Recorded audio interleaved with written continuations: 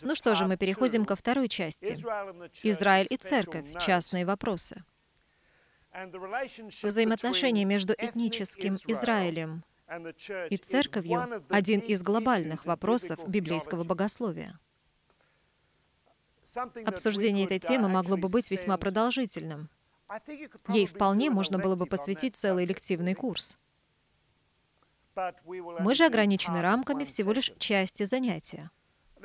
Позвольте для начала обозначить четыре основные позиции по данному вопросу. Это материал из словаря под редакцией Мэла Кауча, словаря богословия премиллинаризма.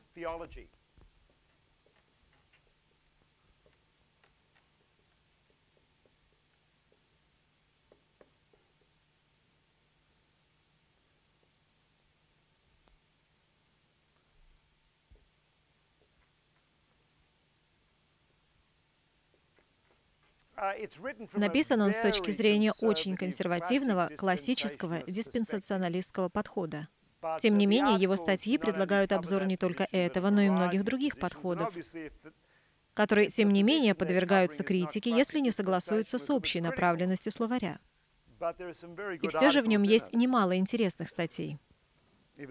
Несмотря на то, что лично я придерживаюсь иных эсхатологических взглядов. На смену Израилю как народу Божьему пришла церковь. Она представляет собой новый Израиль. Вот в таких терминах выражена первая позиция, которую вы найдете в материалах к урокам, под номером один. Данный подход также называется замещающим.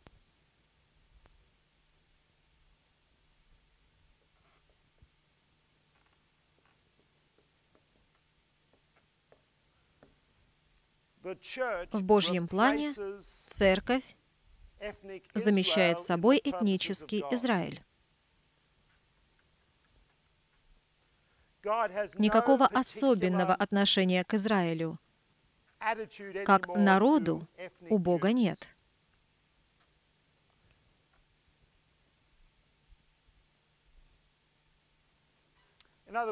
Иначе говоря, между Новым и Ветхим Заветами наблюдается прерывность в вопросе об этническом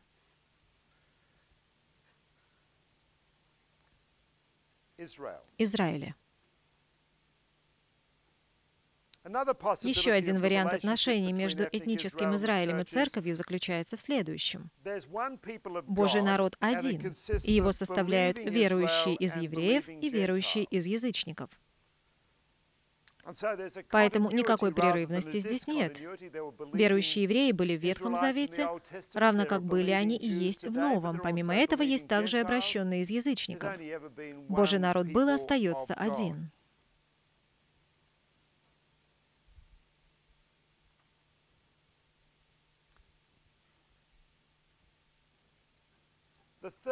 Третий подход в чем-то похож на второй. Божий народ один, но в нем отчетливо выделяются две группы. Этнические евреи и язычники. Вы имеете в виду всех верующих, и евреев, и язычников, да? Да, вы совершенно верно заметили. В них входят верующие, как из евреев, так и из язычников.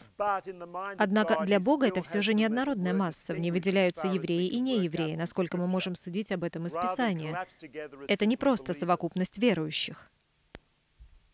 Это понятно? То есть неверующие евреи, евреи по плоти, не входят в народ Божий. Я правильно понял? Но не часть народа Божьего. Неверующий еврей к Божьему народу отношения не имеет если следовать Новому Завету.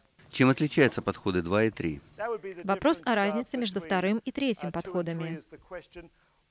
Согласно второму и третьему подходам, будь ты верующим из евреев или верующим из язычников, ты являешься частью одного Божьего народа. При этом ничего не говорит о том, что место верующих евреев занимает что-то еще.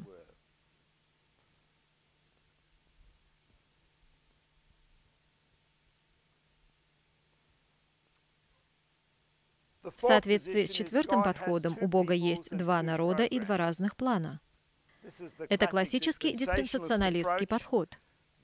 У Бога есть этнический Израиль и церковь. И для него они существуют самостоятельно. Если вы помните исторический материал, который мы рассматривали в контексте развития библейского богословия, то, согласно данному подходу, мы живем в эпоху церкви. С этническим Израилем как таковым Бог уже давно не взаимодействует.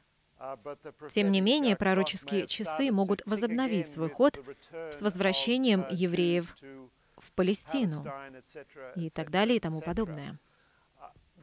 Данный эсхатологический подход более подробно анализируется в рамках курса по систематическому богословию. А теперь позвольте привести пример того, как одно учебное заведение может объединять людей с разными взглядами по данному вопросу. Кстати, это вполне справедливо и для Тринити. В качестве примера хочу привести свой теологический колледж Мур в Австралии. В одно время его директором был доктор Бротон Нокс, а его заместителем Дональд Робинсон.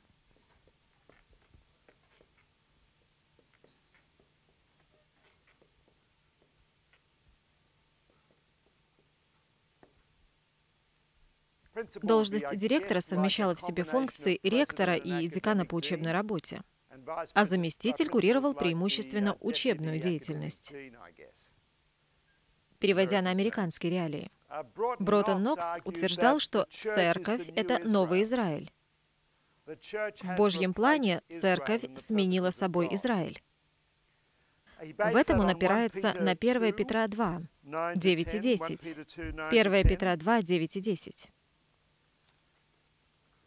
где Петр пишет, «Новый род избранный, царственное священство, народ святой, люди, взятые его дел, дабы возвещать совершенство призвавшего вас из тьмы в чудный свет свой. Некогда не народ, а ныне народ Божий, некогда не помилованные, а ныне помилованные». Этот ветхозаветный язык из Исхода 19 теперь звучит применительно к язычникам. На смену Израилю пришла церковь в Божьих планах и замыслах. Послание к Галатам 6.16. Еще один ключевой текст в контексте нашего обсуждения.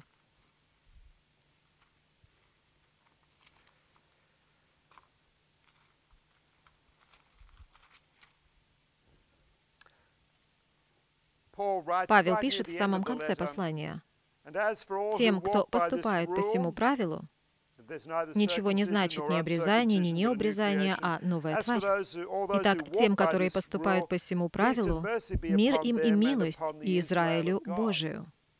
В понимании Бротона Нокса речь здесь идет о церкви. Павел мог написать и церкви Божьей. Для Бротона Нокса это синонимы. Далее Откровение 21.3. Откровение 21.3.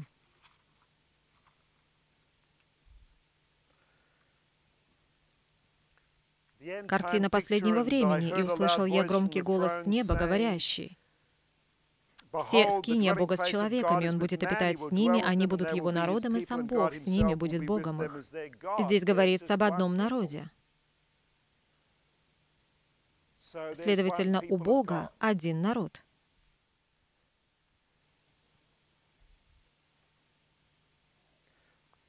Церковь — это Новый Израиль.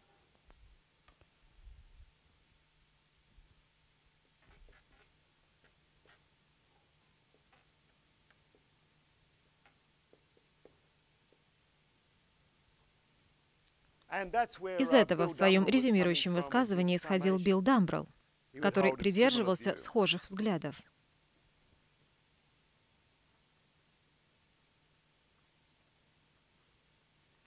Итак, мы говорим о Новом Израиле и новом Божьем народе. В то же время Дональд Робинсон утверждает «нет».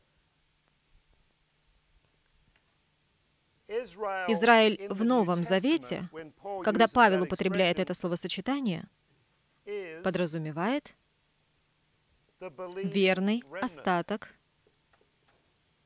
евреев.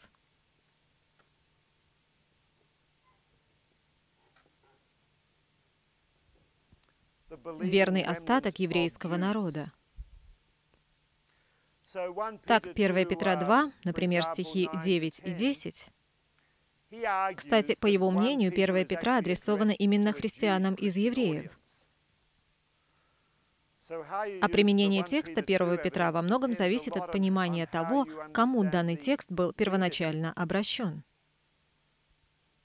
В частности, к верующим из числа евреев или же преимущественно христианам из бывших язычников, или же к обеим названным группам, ко всем совокупности. Что касается Галатам 6.16, тем, которые поступают по всему правилу «мир им и милость» и Израилю Божию, то это послание адресовано в первую очередь язычникам, поскольку в какой-то момент они попали под влияние иудаизма и восприняли соответствующие законы и ритуальные обряды. Если вы помните главную тему послания. Так вот, Павел говорит, послушайте, Галаты, если вы будете поступать по изреченному мной правилу, мир вам и милость и Израилю Божию. То есть христианам из евреев, в основном из Иерусалима, согласно позиции Дональда Робинсона. Теперь по поводу Откровения 21.3. Весьма интригующий текст.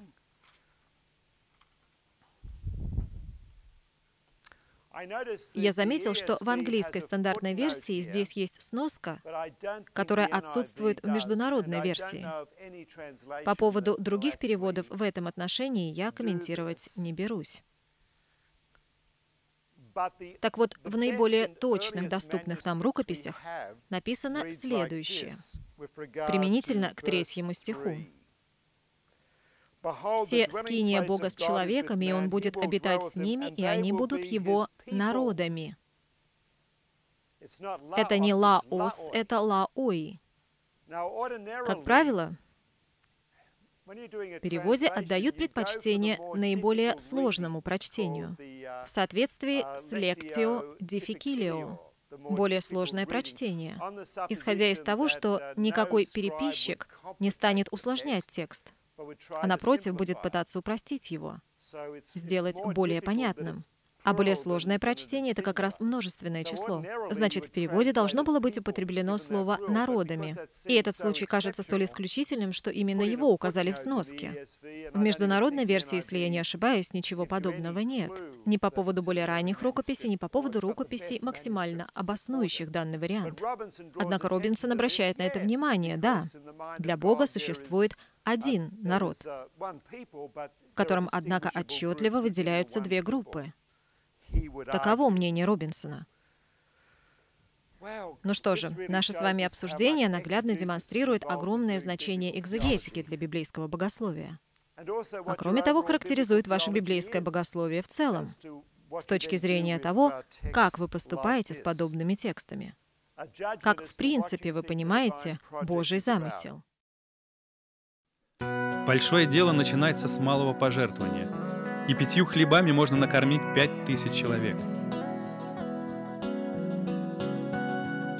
Поддержите наш проект молитвой и финансами. О чем молиться и как пожертвовать вы можете узнать на сайте www.tvseminary.com.